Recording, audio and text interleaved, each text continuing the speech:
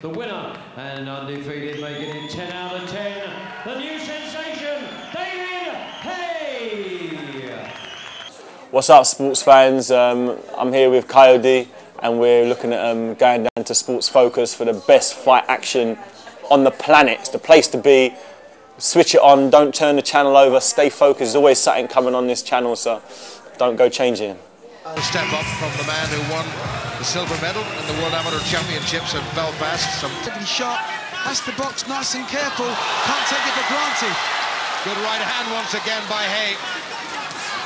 Well, Thompson has more lives than a cat. He's got the heart of a lion, but Haye's got him again with a left hand.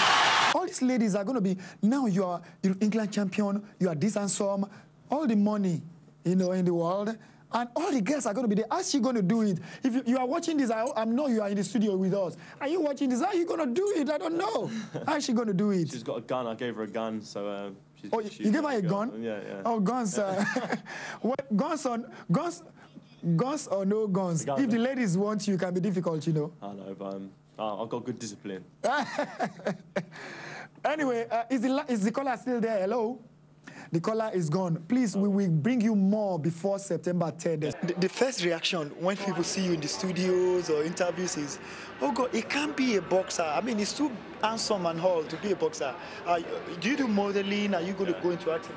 Um, I used to model um, a few years ago. Um, I used to model for Abercrombie and Fitch and Versace. I had some big campaigns um, when I was younger.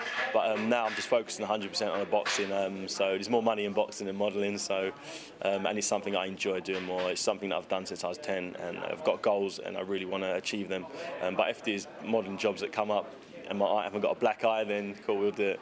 Yeah, finally, uh, because this is a closing, uh, how do you feel when you, people see you and they say, that's the European champion, and they look at you and say, this, can't be a boxer, it looks too soft to be a boxer. everyone, everyone thinks that they look at me and they think, ah, the guy doesn't look too tough. But um, if you look at uh, Muhammad Ali, he didn't look too tough, or Sugar Ray Leonard, he didn't look, look too tough. It's the guys who've got the smashed up faces that um, people think they're tough, but it just means they get beat up a lot. And uh, I don't, because the guys lying on the floor, so he can't hit me.